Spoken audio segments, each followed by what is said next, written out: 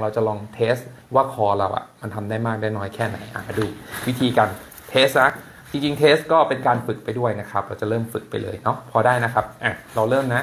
นั่งตัวตรงแบบนี้นะครับ นั่งตัวตรง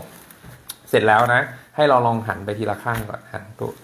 หันคอไปสุดนะครับ คางตรงไปแบบนี้ดูด้านนี้ หันคอมาด้านนี้ แล้วกลับมาคอตรงแบบนี้นะครับห้าครั้ง พอได้ไหมมันจะตึงที่บริเวณคอมากนะครับสำหรับคนที่เกิดอุบัติเหตุใหม่ๆ หรือเคยปวดคอพวกนี้ลองทำตามนี้เลยก็ได้นะฮะดูช่วงคางกับไหล่อะมันห่างกันมากน้อยแค่ไหนนะครับ ถ้า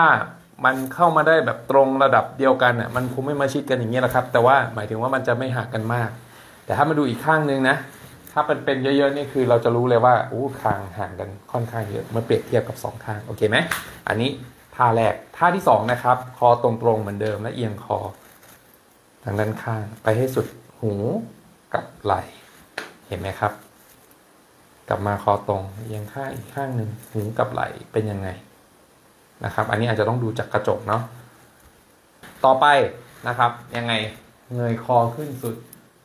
แล้วก็กลับมาก้มคอลง ต่อไปนะทีนี้เราจะเพิ่มความแข็งแรงละอะให้นอนเอาผ้ารองก่อนก็ได้ หรือถ้าใครแบบไม่ไม่มีปัญหาก็นอนราบได้เลยนะครับ วางคอลงไปตรงๆ แล้วก็ดูคางผมนะครับ กับหูตรงนี้เนาะเก็บคางเข้าไปแล้วผ่อนค้างไว้ 5 วินาที ผ่อน 10 ครั้งเป็น1เซตนะครับ ทำอย่างนี้ครับ ยืนตรง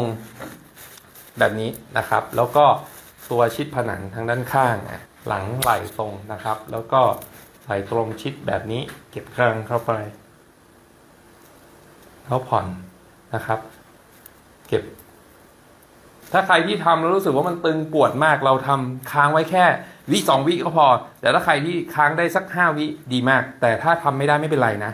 ค่อยๆ ฝึก ค่อยๆ ฝึกแล้วทำอย่างนี้ประมาณสักสิบครั้งเป็นหนึ่งเซต วันหนึ่งก็เซตสองเซตก็พอ ประมาณนี้ประมาณนี้เท่านั้นเองสำหรับคนที่มีอาการตึงปวดคอเรื้อรังหรือว่าเป็นมาจากอุบัติเหตุนะครับ ลองไปใช้ดู